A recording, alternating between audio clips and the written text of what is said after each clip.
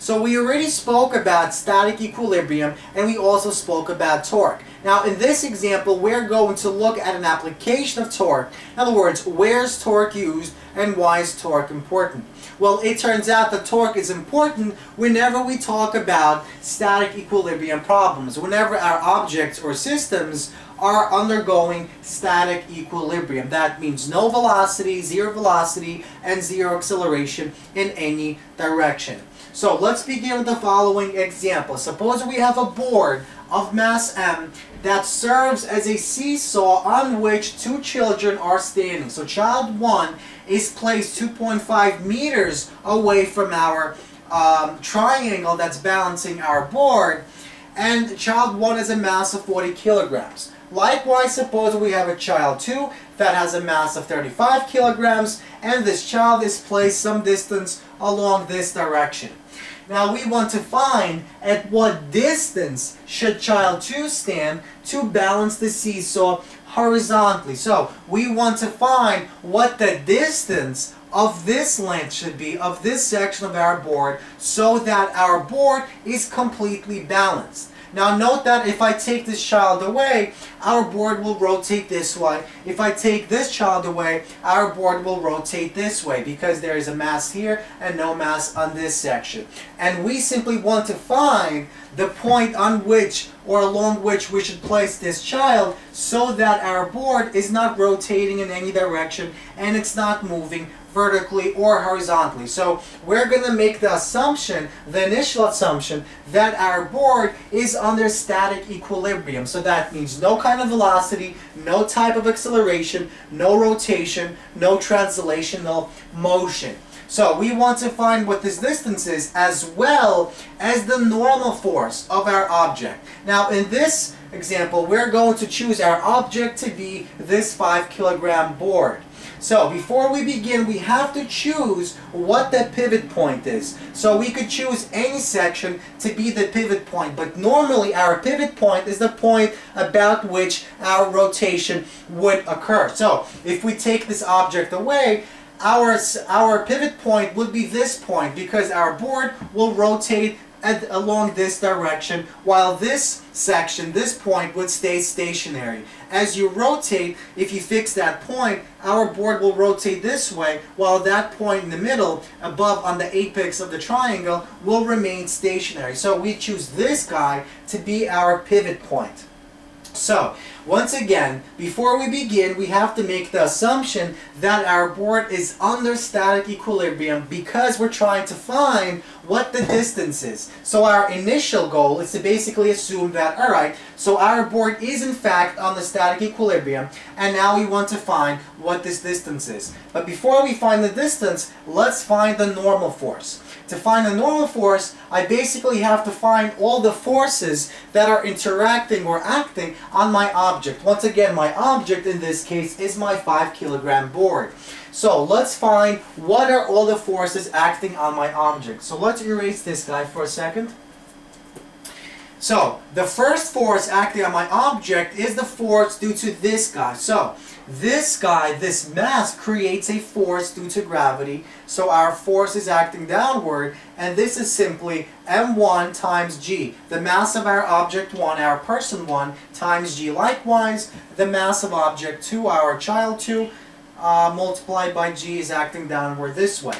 Now likewise, what else is acting? Well, we have 5 kilograms. Our board is 5 kilograms. And that means this also acts downward, creates a downward force coming out from the center of mass or our pivot point.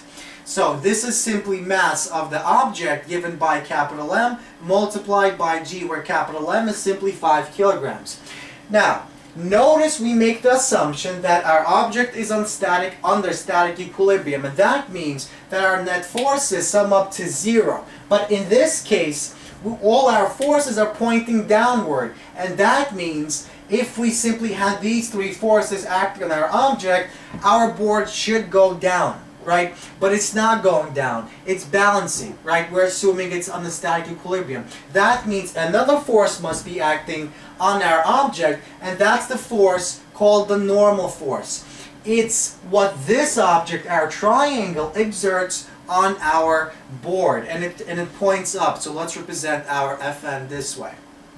So let's choose our upward direction to be positive and let's choose our downward direction to be negative. Notice we have no uh, forces along the x direction, only forces along the y direction. So once again, because we're making an assumption that, that our system is under static equilibrium, all the forces going up are equal to all the forces going down. So if we sum up all our forces, we should get zero and this is represented here. So the sum of all the forces along the y direction should, should sum up to zero. So let's see if that's actually true. So let's write all our forces. So we have force normal going upward minus and all these guys because they're all going down uh, downward along the y-axis. So uh, mass of the board times g minus mass of child 1 times g minus mass of child 2 times g. Now, let's bring all these guys to the right, and let's leave our force n on the left because we're solving for this. This is our unknown, and these are our known. So let's bring everything to this side, leave fn on the left, and let's, let's take out a common term from all these guys. We take out the g, and we simply get our normal force that's acting on our object, on our 5 kilogram board, due to this pivot, this triangle, is equal to g, which we took out, times mass 1 plus mass 2 plus mass 3 because when we bring these guys over they all become positive and now we simply plug in our values, our knowns so mass 1 plus mass 2, 40 plus 35 gives us 75, plus 5 gives us 80. So 80 kilograms is our mass, multiplied by 9.81 is approximately 785 newtons. This is the force, the normal force, that's acting upward due to this object, the triangle, on our mass of the board. So, we found part two of our question. Let's find the part one. At what distance should the child be placed away from this point. So we want to find, let's erase these forces because we're not using them anymore. So we want to find what the distance is from our triangle in the middle to our person, to where we place the child. We want to find this distance, right? We want to find the length of this. Now we said that this, uh, this section is 2.5 meters right? Now notice that this doesn't have to be this, right? This distance is not the same thing as this. In fact, this distance should be either less or larger than this, and that's because these masses are not the same. So technically, because this has a larger mass than this, this distance should be longer than this, and we'll, and we'll see exactly that at the end. For now, we want to find our torques. So we already spoke about forces and we said that there is no translational motion and that means our object is not moving up and down, our board is not moving up and down, so our forces sum up to zero. Likewise, our object here is on the static equilibrium, so our seesaw is not rotating up or down, it's stationary like this, right? It's not moving, so there's no rotation going anywhere. That means the sum, of all my rotation is zero. So the sum of my torque is zero.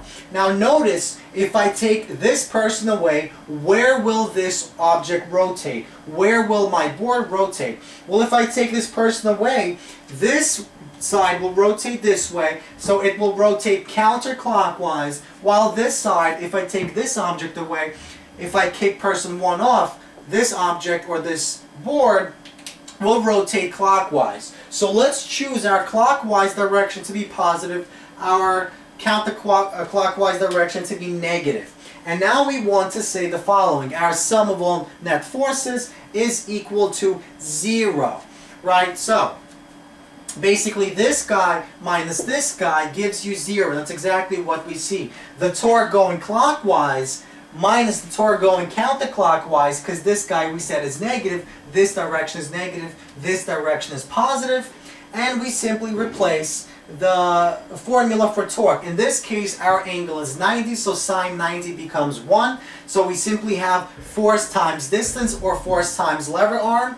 So in this case, our lever arm is 2.5, and our force going downward is mass 1 times g. So let's say that's for, uh, force 1 times 2.5 and it has a negative sign, so that's what that guy is. What about this guy? What about the torque on this section? Well, this is going downward, so it's uh, so it's positive. It's going along the clockwise direction. So we have force 2 times our distance r, which is the unknown. This is our r.